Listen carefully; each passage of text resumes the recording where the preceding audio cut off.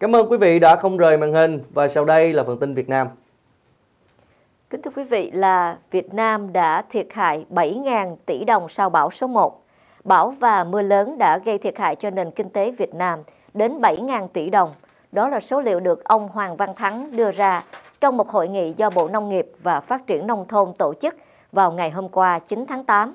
Ngoài thiệt hại tính ra tiền như vừa nêu, còn có 7 người chết và mất tích, cùng 63 người bị thương do cơn bão số 1 đổ vào miền Bắc Việt Nam, cũng như mưa lớn do ảnh hưởng của cơn bão số 2 ở Trung Quốc gây ra.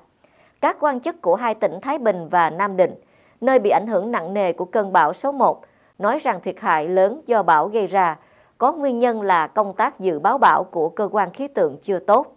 Tuy nhiên, ông Hoàng Đức Cường, Giám đốc Cơ quan Dự báo Khí tượng Thủy văn Trung ương đã trả lời rằng cơn bão số 1 vừa qua rất đặc biệt, chuyển từ tốc độ rất chậm sang tốc độ rất nhanh, nên cơ quan dự báo khí tượng không lường trước được.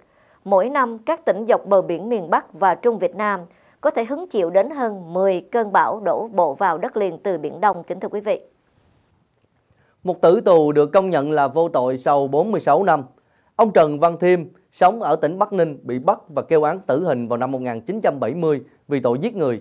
Tuy nhiên, vào năm 1975, một người khác đã thú tội giết người. Ông Thêm được trả tự do cho đến nay, nhưng chưa có một quyết định chính thức nào từ tòa án nói rằng ông vô tội.